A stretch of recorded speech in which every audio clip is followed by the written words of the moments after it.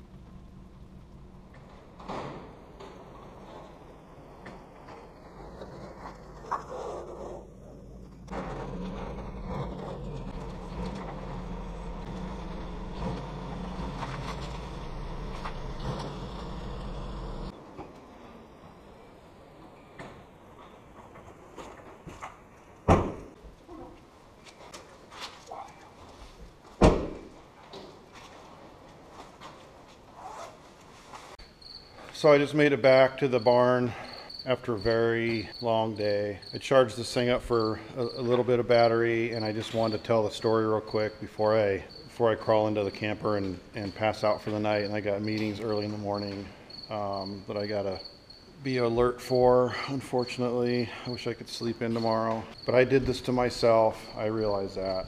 So the story behind this car is that I found it online. Oh, Honey came back outside. I know how you're feeling, girl. I feel the same way. we're gonna go to bed in a minute, okay? I'll get you some dinner and then we're gonna go to bed. So the story is I texted the guy and I actually had something going on tonight that I, that I ended up not doing because I really wanted to get this car and he had a bunch of people uh, in line waiting for it, I guess. But uh, it was near Salina, Kansas, and I messaged him. He didn't really respond like I was thinking he would, so I, I was not hopeful that I would get the car. And then he finally responded back saying, Hey, you're first in line. Um, I, I said, Can you take $500 on Venmo? Hold it. He said, I don't do Venmo. I wanted to go out. Today's Tuesday. I wanted to go out Thursday. Um, I got a lot of meetings tomorrow. I had a show I want to go to tonight. And he he said he would work with me. He didn't want to be unreasonable. He couldn't do Wednesday, or no, he couldn't do Thursday. I couldn't do Wednesday. So I said, you know, I really want this car. I didn't want to mess around and miss out on it. So I said, you know, I'm just going to, yesterday being Monday, I thought I'm just going to hop in the truck and get out to the farm, get the trailer and get down there and get it. Um, I ended up coming out early this morning. The car was a six hour, six hour plus drive from home in Denver. But I came to the farm to get the trailer first and then went to get the car. So it ended up being, I left the house today at 6.30 and it's 11.30 now. So, oh, it's only five hours. Okay, that's not too bad. 17 hour day, and in the middle of it, I was here for maybe, probably not even a full hour, but may, let's say an hour. So, long day. Um, but I got there. The guy was, the guy was super cool, super cool family. Um, they loved Nadia. His kids loved Nadia. At least they pretended they did, even though she made some messes on their property. They said they had dogs and they were fine with it, but um, so I got myself a 69 Barracuda and this is one of the cars that um, I won't say I've always wanted one, but as I got older, I mean, of course, when I was a, a teenager and in my 20s, I loved 70 Cudas mostly, 70 Challengers, but 70 you know, 70 CUDA, yeah, I'd love to have one. Um, but as I got older, I really started loving the way uh, the 69 looked. So when this came up, I'm like, wow, I got to go get that thing. Um, so I'm really stoked. It's definitely a car that's that's been on my high priority list. I honestly didn't think I would ever get one. Um, this one comes with a no engine at all and no transmission, no master cylinder. So it was a, an originally a 318 car, according to the guy I bought it from. I'm not sure the story. It, it came from Missouri, actually. It's got a Missouri title. The guy I bought it from, his dad is is into, probably getting the story wrong, but I, his dad's into into Volvos he had a Volvo. He traded this for the Volvo, and I got really lucky. So my plan is to put a, I think I want to just put a 318, 318 in it, and 318 is a, an engine that I don't love, but because it was a 318 car, I think I want to go back to 318. I think I'll keep it automatic on the column. Just I'll try to make it original as much as I can. So I got the Barracuda and I got the Marlin. So I got a, got a couple nice fish cars. Anyways, I'm going to go to bed and we'll unload this tomorrow if I have time. I think I will. Um, I might actually just pull it back out and get these cars moved around. I don't know what I'm going to do. I'm so tired right now that um, I just need to go to bed. So. I appreciate you guys clicking on this video and making it this far in it. If you did, I really appreciate it. Um, I hope that it's fun to watch. Um, I love watching videos of these of guys yanking old cars out of random places and trying to get them back on the road. So I'm trying to trying to enjoy doing it.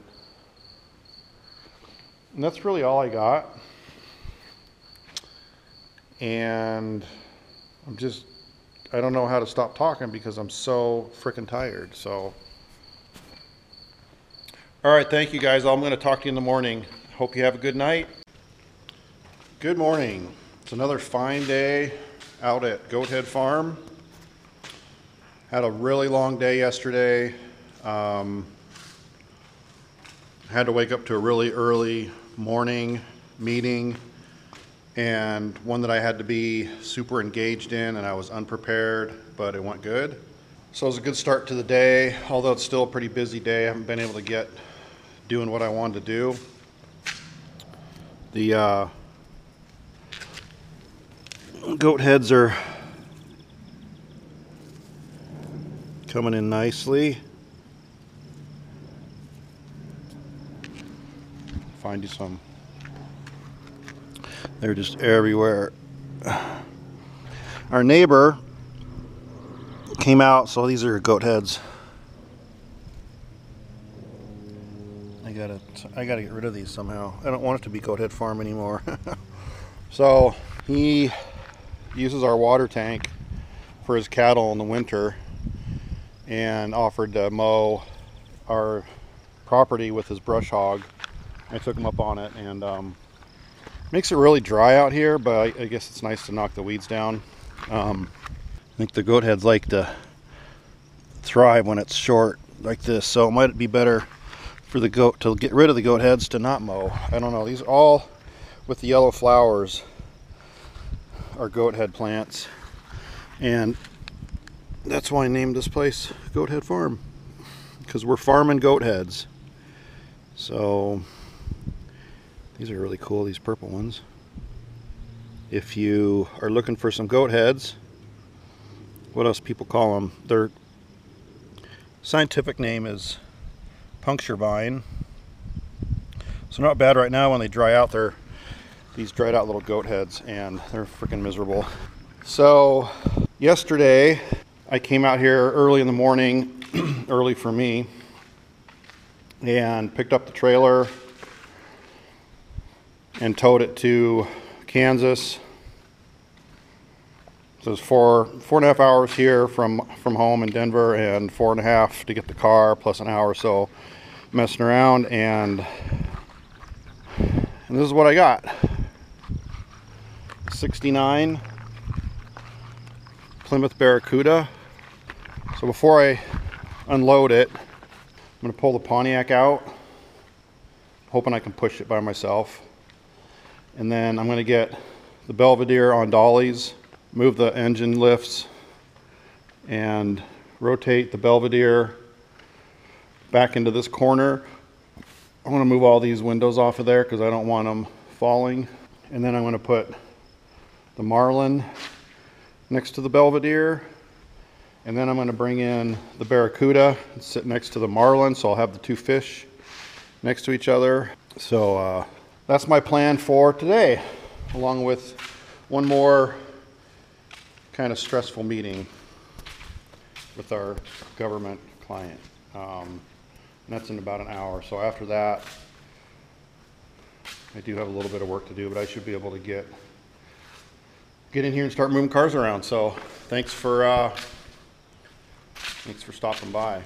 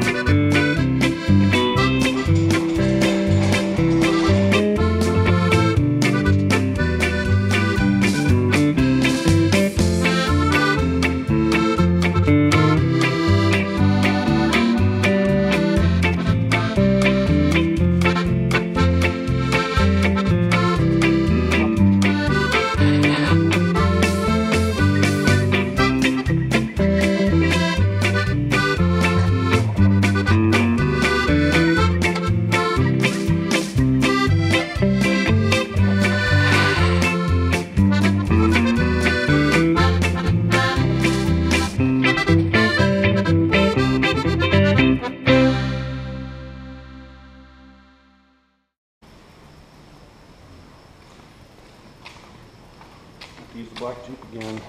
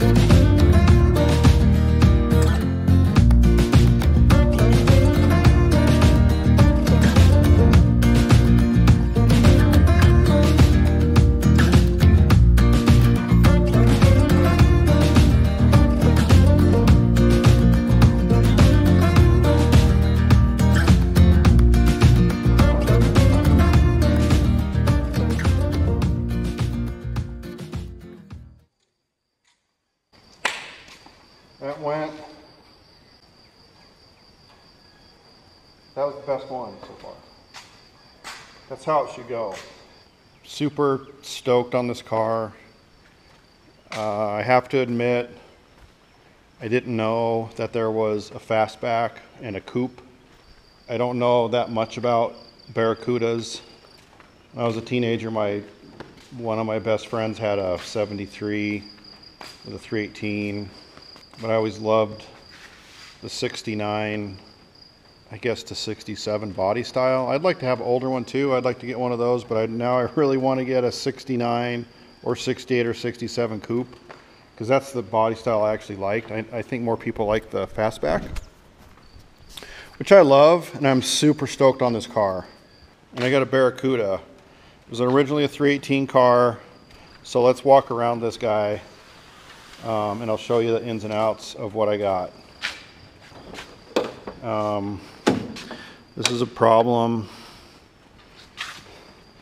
Floorboards are, are in great shape. I just need just a little bit of, oh, what's that? I have no idea what that is. God, it has the smell. Why do they all have to have the smell? Check this out. I guess that goes here. So that's cool. Oh, let's go back to the interior.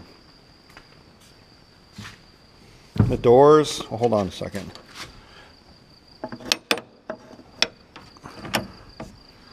There's a problem with the door that I got to fix, but overall the doors are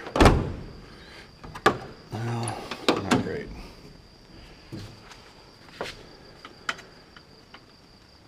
I mean, everything's just on the verge of failing. Did not have a rear fold down seat, but he put a bracket in there for it. I'm not sure what those are, maybe for seat belts. Headliner's gone.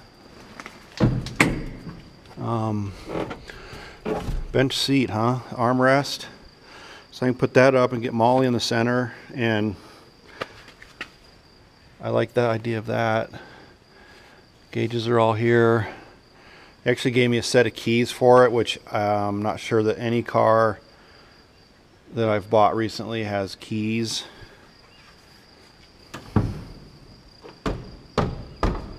So you fix that. Uh, it's got the seat belts that go up, fold up here. That's how my 69 Camaro was too. I my evaluation is is that the body is in great shape. The guy put ladder bars on it and uh, shackles, kind of. Know if he was going to drag race it or maybe it was a drag race car. So obviously some work to do on this thing.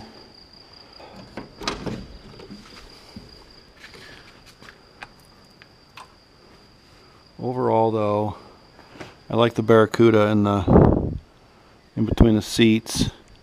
I don't know what was supposed to be back here. I got some learning to do on these cars for sure.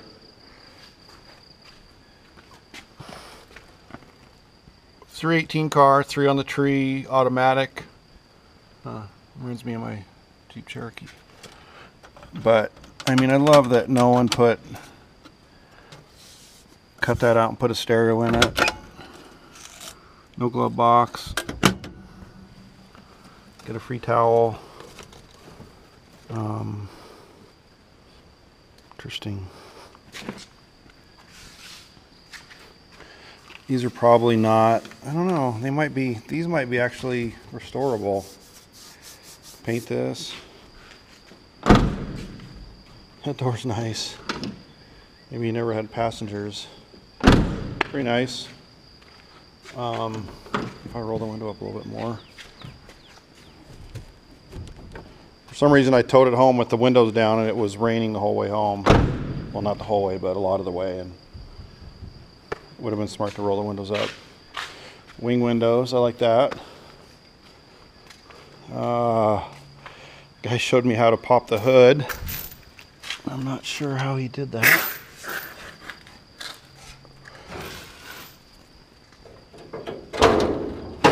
Like that, I believe. And then you, got a, it's got an awesome engine in it. What the hell? He told me it had an engine. Ah, son of a. I'm thinking I'm going to put a 318 back into it. But boy, how cool would it be to put a big block? People seem to not like 383s, but I had a 75 Ram Charger that originally was a 318 truck. Someone put a 440 Magnum in it that I sold that I regret. Uh, then I bought a 383 and put it in there, and that thing was extremely powerful. So if I could find a strong 383, that'd be fun. But I would actually like to put a 318 back in here with, I don't know, Mopar 727 three-speed transmission. What are they called? Whatever. Uh, and let me go get the keys. What are you doing, girl? You want to come out? Flies are going crazy. So that's her favorite place to be because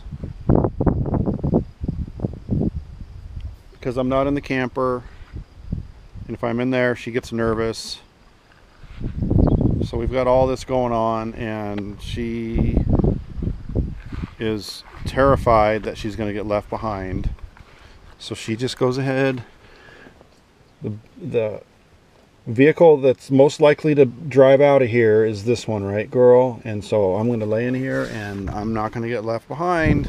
Okay, we love you, girl. That's Nadia. That's our favorite girl. Okay. So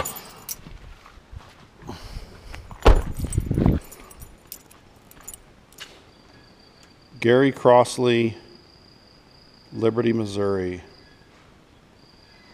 Interesting. What if this car came from that dealership? Check out these keys. Look like my old Ram Charger keys. Ah, I missed that truck. Okay. Let's see. I think there's a trunk key on here. Why is there three keys? Oh. Is the gas? Is this thing lock? No. I'm not sure what the third key's for. Let's see if this is the trunk key. Mopar keys go upside down, don't they? Barracuda. Ever since I bought this car, I've just been singing Barracuda all the time. It's kind of annoying. That's the trunk key. I'm not sure why there's two other keys. Okay, random parts.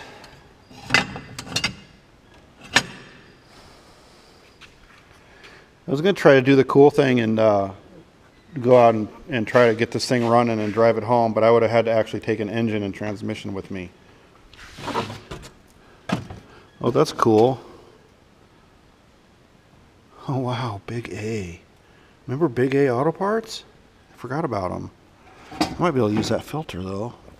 I guess this folds down this way. Yeah, this folds down this way, and you've got the whole trunk, the whole, I guess you can actually sleep in there. I bet I could talk Molly into that. There's a little bit. There's a little bit of daylight coming in there. Oh wow. Floor jack. That looks original, huh? That's cool. Okay. Oh, that must be the original color. That's probably the color we'll be painting it.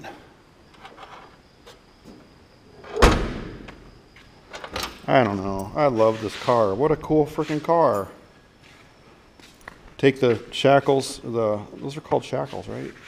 And the ladder bars and 318, my least favorite Dodge engine. Um, automatic transmission. I want to put it back the way it was. I think these seats are totally restorable. If I find a good upholstery guy, that, I mean, he can rebuild these seats. Um, paint it back to the original color, body work. It's not actually an overwhelming project. I guess there is no drive shaft. Power steering. These cars all have that smell of it's it's mouse pee or um, raccoon whatever. So I guess this is a known, the guy that I bought it from said this is a known, there's a common problem with this year Barracuda, that this top of this fender rots out and nobody knows why. I don't know. Am I over my head? I don't know, probably. But what a cool car. If anybody has any advice for me on this car, I would love to hear it. Um, contemplating going big block, but probably do a 318. Maybe I'll do a 318 bored over so it's more like a 340. I don't know, but um, I'd like to get an original engine back in it, original build. Um, I prefer the notch. I prefer the notchback coupe than the fastback. But this is growing on me. I hate to say it. It kind of looks like a, a Maverick or a I guess when they made these, maybe it made me think, well, maybe that's what they, what Ford and Chevy were going for with the Vega and the and the Maverick. They were going more for this. It's too bad that the Maverick and the and the Vega didn't evolve like the Barracuda did. Um, so I'm going to back this thing in, and then I'm going to show you something that I think is super cool. So give me a minute here. We'll back this guy in. Oh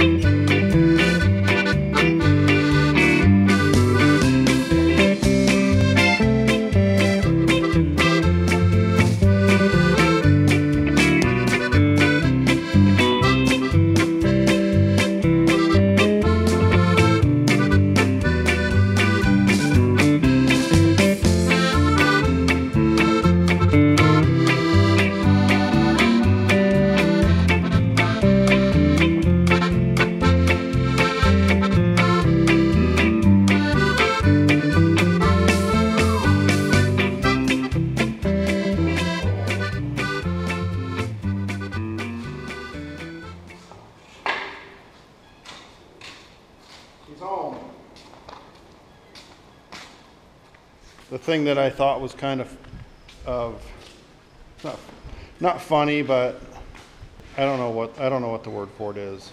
It's interesting how car manufacturers do similar things, I guess. I don't know.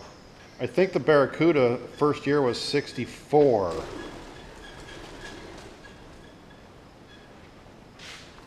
Probably can't see me with that light. Um, and the Marlin, this is the first year for the Rambler Marlin, was a 65. So they must have taken suit from Plymouth, who made the Barracuda, and they made the Marlin fastback. And it was all because of this guy, right? This is a 65, but 64 and a half Mustang pony car. Everyone's like, uh oh, better do that. So AMC in 65 turned their Rambler. They made a Marlin edition with the fastback, which I think is super cool. And then I think in, I got to go look and see what the first year for the Barracuda is. This is the second gen Barracuda. I need to get a first gen. I need to get a first gen Barracuda and I need to get a coupe, second gen coupe for my museum. So this is this is the museum and that's my pigeon. That's the I think that's the baby. I know you don't want pigeons in your barn, but they keep me company. And that is going to do it for today. What's next? Well, it's funny you should ask. There's a slight chance that I might have bought a 1960 Bel Air that is in worse condition than the Belvedere. And there's also a slight chance